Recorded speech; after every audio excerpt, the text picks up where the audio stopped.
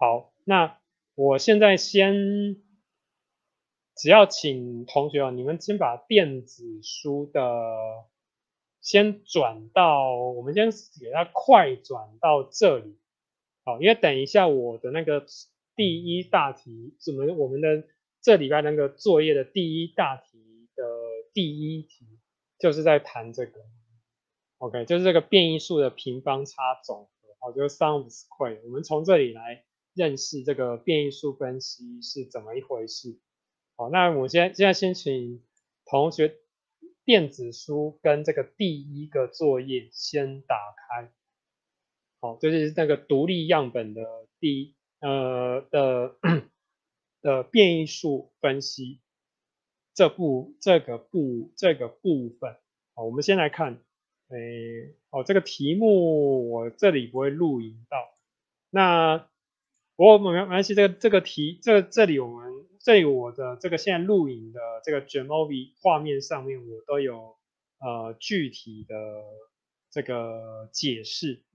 好，那首先因为第一题其实跟这个这里开始从上次 T 检定开开始哈，我的作业都会有个规律，就是会是先问大，先请大家了解每一种统统计方法的。线性回归模型是长什么样子？OK，那其实你们可以从，因为我有留我我给大家的这个示范档案里面的选单，大家都可以看得到。只是说有时候我有有一有的统计方法需要有，特别是像这个变异数分析，就需要有进一步的解释。好，因为特别是这个。独立样本的这个部分，哈，你们可以看，可以看到本来的资料是不是只有从这个 ID 到这个 mood again，好，那这个哦对，在我要再再说明一下，这个资料是假设是一个忧郁症，根据电子书的说明，它是一个呃测试忧郁症疗效的。这个效一个新药的效新药的效果，好，那那这里主要是呃，就是这个是忧郁症病人，那那服的药主要是有这三种，这个是这个什么 Joy Zampan 是要测试的新药，然后这个 X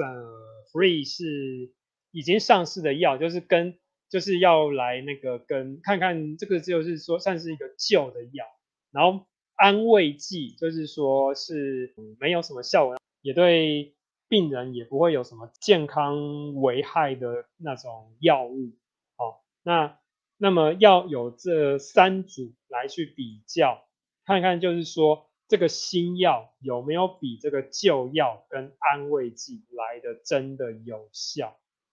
OK，他的实验就是这样子。OK，所以那那个在原来的这个档案里面，它只有前前面这四这四栏。好，呃，这个一变相就是这个 mood again，就是说这个是呃，就是说是吃了药的的病人哈，他呃他后来的，就是说吃药前跟吃药后的。这个情绪改善的分数，我们先大致就知道这样就好。那个到底怎么测，我们先不深究。好，那呃哦，然后中间那个 CRP，我我先稍微补，稍微先提前讲一下，这个是下一次的多因子变异数分析，听名字就知道它是两个突变项的实验分析。哈，下一次我们才会再看到。好，好，那那么主要是我我在。run，我在用这个回归式跑这个独立样本变异数分析的时候，我是大家可以很明显的从这个选单中是不是看到，我不是只有丢那个 drug，就是那个有那些药名的那一栏，还有丢两个共变项，叫做什么 do me B 跟 do me C，对不对？好，这个这两个叫做虚拟变相。那这个虚拟变相的定义。哦，你们可以看一下资料，我们可以看一下资资料转换的变数。好，它是根据 drug，就是这个药名的这一栏，去做一个资料转换。那它其实其实应该是叫做编码转换。你们有注意到这个丢米 b？好，第一个这个丢米 b，它主要就是说，只要是那个药是旧药的，它都把它编码为一，其他都是其他两种药都编为零。然后丢米 c 是新药的话，编码为一，其他编为零。好，那所以说，呃，这里虽然我有丢 factor 进去哈，它它是要搭配这个 factors 才能够构成一个完整的回归式。好，那这个回归式是长这样子。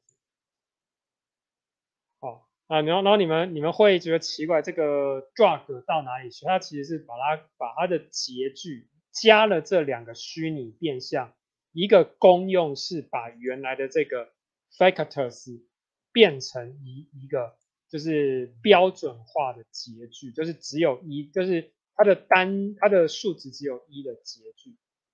啊，这是虚拟变数的功用，虚的就是虚拟变相，特别是用在这种。呃，有正交设计啊，所谓的正交设计就是说，就是说每一个个案他会拿到什么药，都是独立且随机的，这是所有的实实实验设计最重要的一个原则。任何人，任何参与实实验的对象，他会遇到什么样的处置或者是条件？都是独立，哦，且随机。独独独独立就是说，像这个五号他拿到旧药，跟八号拿到新药是随机给的，并且他们彼此都不知道，甚至最严格的就是说，连开药的这个医生啊都不知道他们开开给这个个案的是什么药。好，就是所谓的保持着资料之间的独立性。好，那它的那这里刚好透过这个 ANOVA 可以让各位看到，这是一我们可以见识到一个那个多最简单的多元回归线性模式。前面我就有讲简单回归，是因为那个讲多元回归我我觉得会太复杂，但是在 ANOVA 可以先。到这个独立样本 ANOVA 可以正式介绍给你们一个比较简单的多元回，因为它的那个值大家都看到的就是一或是零嘛。哦，等于说它有两个呃两个回归，它有两个回归系数，然后跟一个一的结句。好，那我们可以透过哈，如果说你可以透过这个。呃，我忘了给你们的示的示范表有没有勾起来？你们可以把这个把这个选单下面的，就是输出的这两个，这个一个是图，一个是表，把它给勾，把它给勾起来。好，然后在这个图这边，我们也看到它的这个图就是画出这三组，每一组个案的这个呃，它的那个情绪。改善状况的的这个主平均，还有这个是信赖区间，好，这个线就是信赖区间，呃，百分之九十，因为因为因为因为是在这边做设定嘛，好，那嗯，你们可以想象哈，刚刚我一开始写在上面的那个回归式呢，它是一个。呃，通过这边这个 mood gain 是一，有没有看到是一个一的？通过这个一的这个水平线，那它是由这三个组的组平均构成的一个水平的回归线。如果今天是用那个 R 或 Python 的话，我是可以直接画出来。不过如果是用套装软体，就只能请同学加一点想象。好，你就想象那条回归在这个 mood gang 等于一这个点，有一条水平的回归线，会刚好就是贯穿这三个主平均之间。好，那这那这一条截距是一的水水平线，是由这三个主平均构成的。大家都知道，那个其实就是回归，就是回归是只要至少有两个资料点就可以画一条线，好，那这个那当然这三个点就也是可以的。好，好，那所以呢，这里有一个补充哦，就是那个那个我要更正一下哈，是说那条水平线是是那个通过是零点八八三。哦，因为这总平均哦，是总平均是零点八八三。哦，我要我要我这我那刚那个讲太快讲错了，因为等因为给他给他一个一是是那个是那个设定的问题，是设定的关系啊，或者是我应该哈把那个前面前面这边我应该要稍微那个改一下，这边应该是零点八八三。因为早上处理的事情太多，刚刚想的有一点没有去想好，所以应该放的就是截距是零点八，就是这个资料这十八个受试者不分组的总平均零点八八三，然后加上两个 dummy code，好，两个虚拟变虚拟读变项，好，然后就构成了，然后每一组的。然后如果说要更详细的话，哈，其实等一下我们看到，其实每一组大家都知道，这每一组都至少有都是有六个，呃，都是有六个病人嘛，好，就是你们可以看资料表就知道，每一组都是有六个人，所以其实每一每一组之间也都有一条水平的回归线，就是通过各组平均。好那，那么，那么上次不是有解释了自由度吗？那这里可以再借这个例子再强调一次，因为等一下我们会看到 F 值哈，就是 ANOVA 里面的那个统计值是 F。那 F 分数其实，其实我们在前面第七单元在介绍几率分配函数的时候已经有提过。F 分布有两个自由，有两个参数。到统计实际的状况来来说，那个参数就是两个自由度。那第一个自由度指的就是说，以三个主平均啊，以这个状况就是说，三个主平均去估计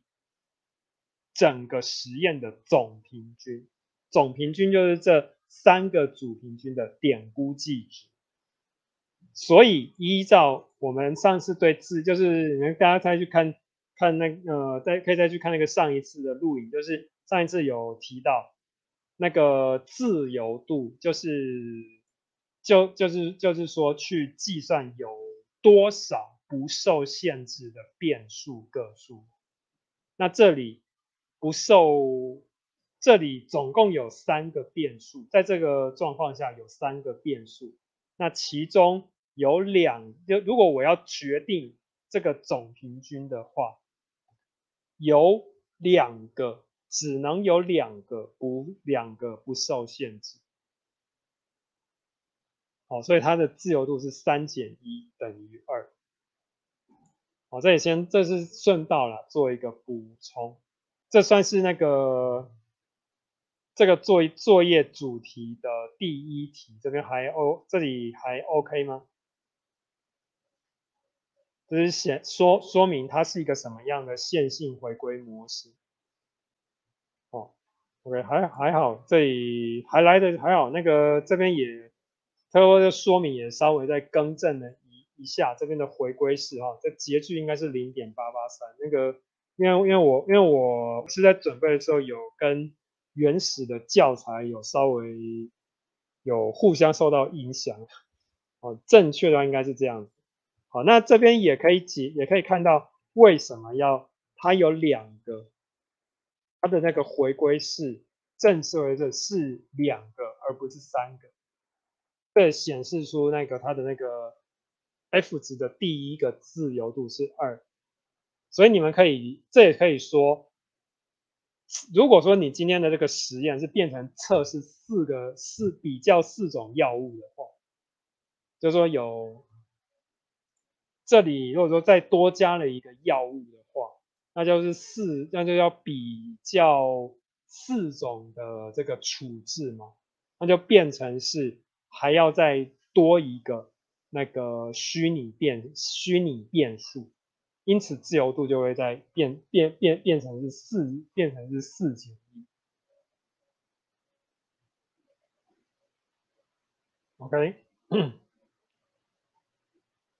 好，其实透过这个讲回归是大家有没有也觉得对实验设计有一些观念？其实实验设计就是说，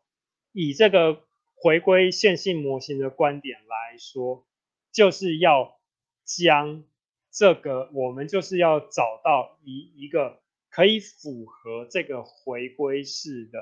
比较方法。